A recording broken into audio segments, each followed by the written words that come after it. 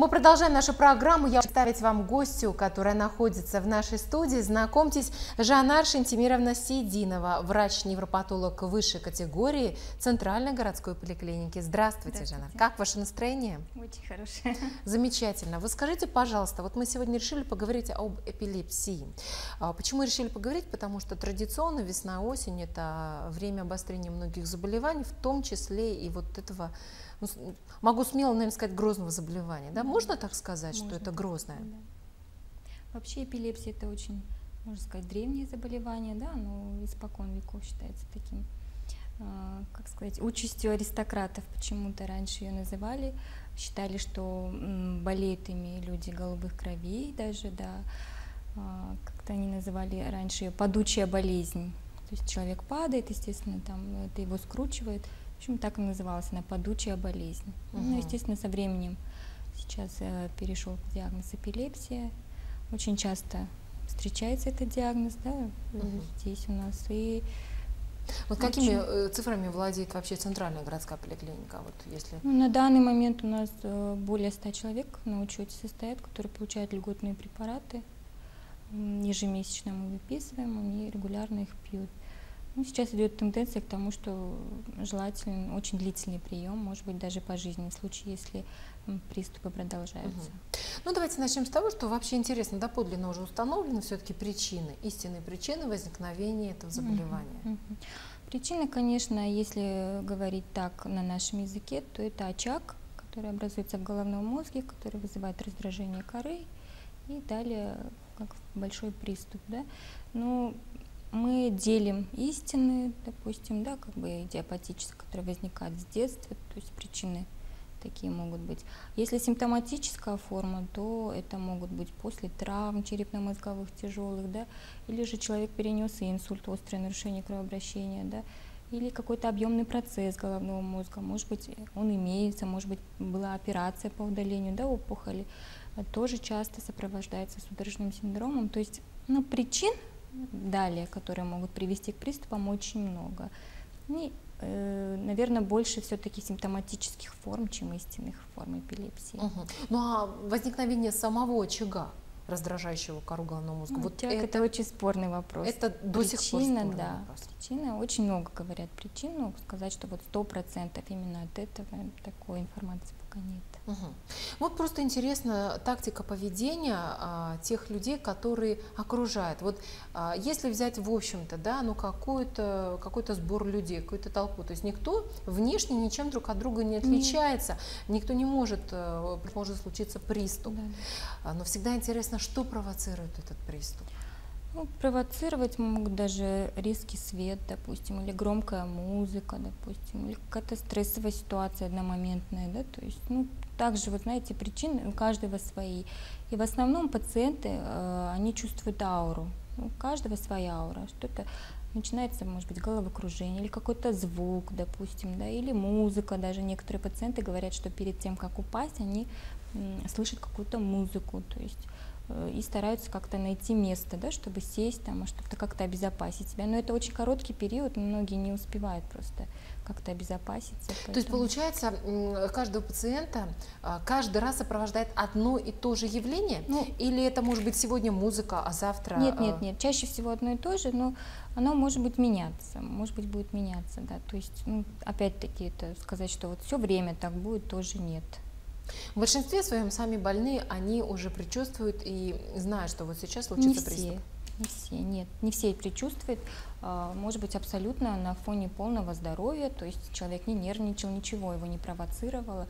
Хотя вот, знаете, вот, честно говоря, в данное время, насколько вот в моей практике, чаще всего нет никакой ауры, чаще всего вот это просто абсолютно без никакого предупреждения со стороны организма возникает этот приступ. Человек со стороны тоже не может предугадать, нет, а, абсолютно. что случится приступ. Нет. То есть это непредсказуемо. Непредсказуемо. А что делать, когда приступ уже случился? На улице было несколько человек, да, человек упал. Ну, предположим, угу. такая ситуация, ведь никто от этого же не застрахован. Угу. Человек упал, мы все видим, понимаем, что с ним Нужна случился помощь. приступ эпилептический. Да, что делать? До приезда скорой помощи как можно помочь? Ну, конечно, вызвать скорую помощь в первую очередь, а потом до приезда скорой помощи человека, конечно, лучше не передвигать, если, конечно, он не находится в каком-то опасном участке, да, и подложить под голову что-то мягкое, чтобы не повредил голову опять-таки, да, и если же вдруг, допустим, человек поперхивается, голову немножко в сторону и а, постараться освободить ротовую полость, вот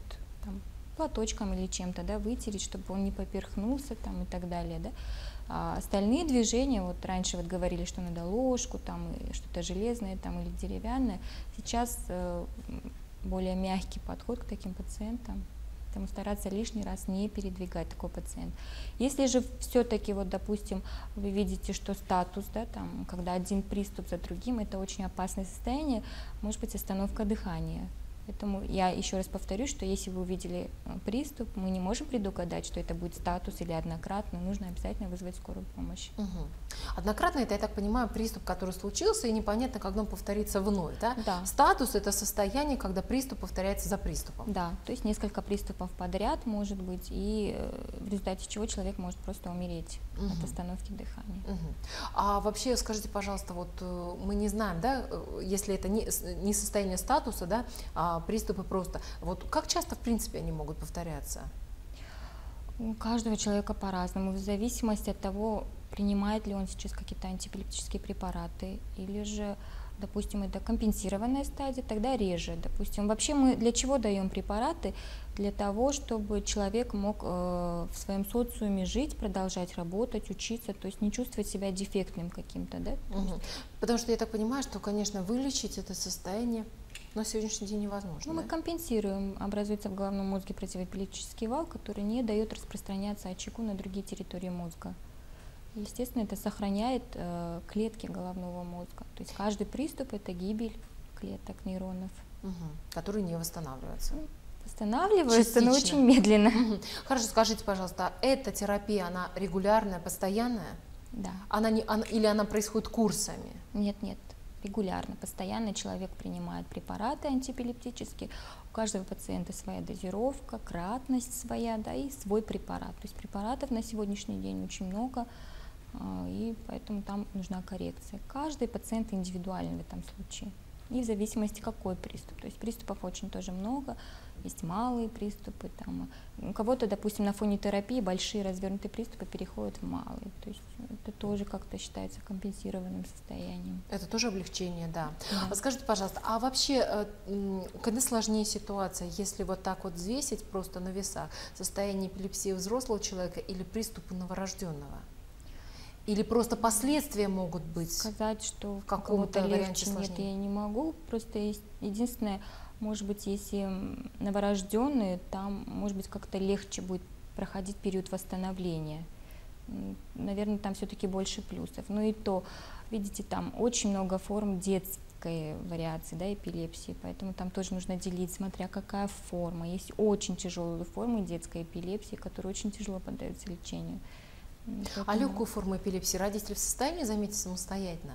То есть вот какие-то признаки выражены или слабо выраженные признаки, а, их нельзя ну, обычно, чем-то спутать? знаете, вот э, бывают такие вот приступы, когда, ну, мы говорим малые, человек просто застывает или замирает на какие-то несколько секунд, и, в принципе, он сам ведь не помнит это состояние. То есть человек э, во время приступа абсолютно не помнит, как это произошло и что с ним произошло. Потом просто ему окружающие говорят, вот ты упал, вот такое случилось. То есть сам человек абсолютно не помнит. И Та же ситуация с малыми приступами, да, человек просто на какие-то секунды буквально отключается. Человек может спутать это с банальным обмороком? Даже нет, он не падает в обморок, он сидит. Он может просто сидеть и э, на несколько секунд просто отключиться, но он будет сидеть. Может быть, будет разговаривать, ну, каждого по-своему, да, может просто будет в окно смотреть, и люди не заметят. Может, человек задумался.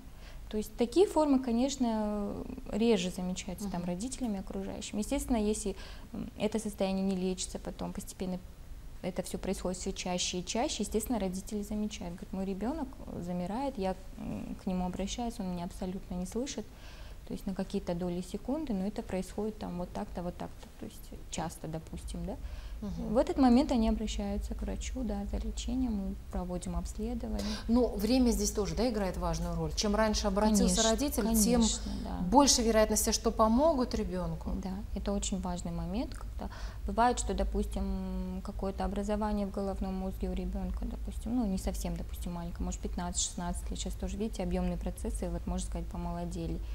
То есть после состояние улучшается, то есть приступов становится реже или, может быть, абсолютно они постепенно исчезают. То есть причина, опять-таки важна причина.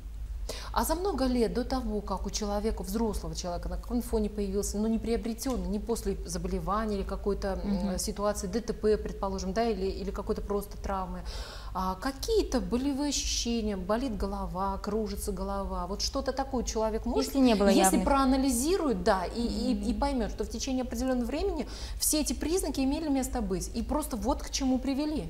Возможно, да, потому что мы собираем анамнез у таких пациентов, которые к нам обращаются, и спрашиваем, естественно, какие, может быть, вы заболевания перенесли ранее, да, не лечились, допустим, бывает, что очень многие переносят, особенно мужчины, а, при драках, да, там, при ДТП, травмы там, головного мозга, и абсолютно не лечится. Ну, там ничего страшного как бы не произошло, все прошло, все прошло да. И со временем обращается к врачу только потому, что появились приступы. Угу.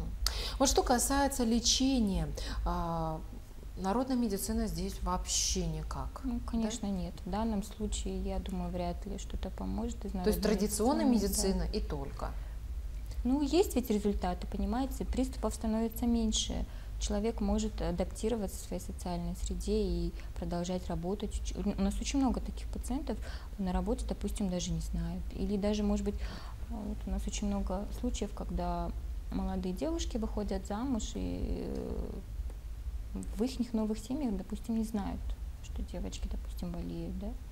А это вот, вот такое положение врача хранить эту тайну о пациенте? Или это проблема все-таки общества? Потому что многие больные эпилепсией страд... вот именно страдают-то не столько от самого заболевания, сколько от отношения общественности к ним. Да, ну, конечно, мы рекомендуем этим девочкам все-таки сказать, потому что если вдруг понадобится помощь, то люди не знают, как вот помочь этому человеку. Да? Я всегда, например, говорю своим пациентам, что желательно сказать, то есть супругу, там, свекрови, допустим, да, ну, если тебя человек воспринимает такой, какой ты, естественно, он и с твоими проблемами тоже, да. Это очень важный момент, потому что далее уже вы планируете ребенка и так далее. Во время беременности тактика лечения имеется своя, да, то есть после родов. Все это моменты, которые должны обсуждаться и в семье тоже. Это очень важный момент. Это поддержка моральная, к тому угу. же. А наследственность? Вот мама, которая страдает этим заболеванием. Нет, это не стопроцентно. Нет, это не стопроцентно. Сказать, что вот, э, ну, конечно, мы всегда спрашиваем. Процент вероятности в любом случае любого заболевания есть, правильно, в том числе эпилепсия. Угу. Но я хочу сказать, что вот из тех пациентов, которые у меня были, я не видела, что вот ребенку передалось. Ну, хотя, конечно, есть. Есть такие случаи. А может быть, просто в этот период маме стоит более внимательно отнестись к своему здоровью, в том числе к приему препаратов, которые... Да, желательно. Желательно вот этот момент, да, потому что многие беременные, они перестают принимать во время беременности противоэпилептические препараты, да. Чем мотивируют? Боятся, ну, боятся, что повредит ребенку. Навредят, да, ребенку. Хотя мы вот Видите, каждый момент индивидуальный. Мы снижаем дозировку, стараемся как-то в щадящем режиме вести эту беременную, да, ну, полностью отменять вот так резко препарат ни в коем случае нельзя. Всегда мы постепенно титруем. Даже если когда мы заменяем препарат, мы делаем титрование. То есть так вот одномоментно и ни в коем случае нельзя пропускать. Если вам доктор назначил препарат, то это ежедневный, ежедневный прием. Ну вот в последнее время а, светила медицины заявляют о том, что и рак будет лечиться одним уколом, и, в общем-то, какие-то супервакцины создаются. Не предвидится на горизонте создание чудо-препарата от этого заболевания? Ну, сейчас у нас появляются новые препараты, которые очень хорошо работают. Мы, в принципе, очень рады. Сейчас вот э, появляются новые препараты. Я сейчас не хочу, конечно, говорить там название. Вот. Ну, надеемся, что вот в дальнейшем все так же будет хорошо, и у нас будут появляться новые препараты, у которых будет меньше побочных да, каких-то вот явлений. Медицина идет вперед, и в принципе мы рады. Мы рады помочь нашим пациентам, если нам э, будет такая возможность, будут выдавать эти препараты новые бесплатно, мы будем лечить Будет пациентов. еще лучше. Да, будет очень хорошо. Спасибо вам огромное за интересную беседу, за то, что нашли время. Я благодарю вас и желаю здоровья вам и всем вашим пациентам Спасибо, в обязательном порядке. Спасибо Спасибо. вам.